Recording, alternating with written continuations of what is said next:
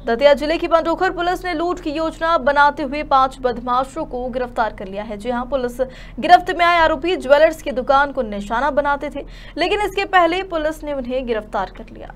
Bhander SDOP Karnik Srivastava ने बताया कि पंडोखर पुलिस को मुखबिर से सूचना मिली थी कि सदका मौजा में भगवान दास रजक की कोठी के पीछे पाँच लोग किसी बड़ी वारदात को अंजाम देने की योजना बना रहे हैं। सूचना पर पुलिस ने दबिश देकर पाँचों आरोपियों को गिरफ़्तार कर लिया। पुलिस ने आरोपियों के कब्जे से अवैध हथियार जब्त कर पूछताछ शुरू कर दी है।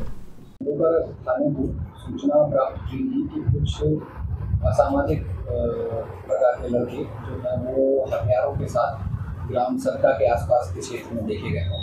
जिस पर से थाना प्रभारी अजय अम्बे और उनकी टीम द्वारा तत्काल वरिष्ठ अधिकारियों को अवगत करवाया गया। श्रीमान पुलिस अधीक्षक महोदय के निर्देश उपरांत जो है वो कंटोकर थाने की दो टीमें बनाकर ग्राम सरकार के पास दबिश दी गई।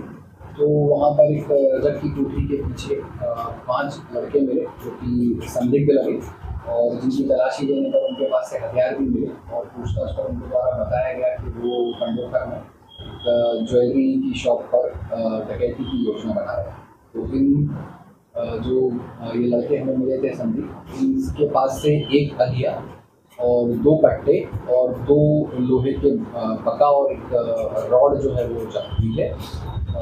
और उनके ऊपर धारा तीन सौ निन्यानवे, चार सौ चार सौ दो, ग्यारह, तेरह एम पी डी के तहत एफ़ आई आर दर्ज ठीक है, और कहीं संदिग्ध अभी पूर्व की वारदातों का तो नहीं उनसे पता चल पाया है, बट ये पूर्ण संभावना है कि ये पूर्व में भी आपराधिक गतिविधियों में लिप्त रहे होंगे।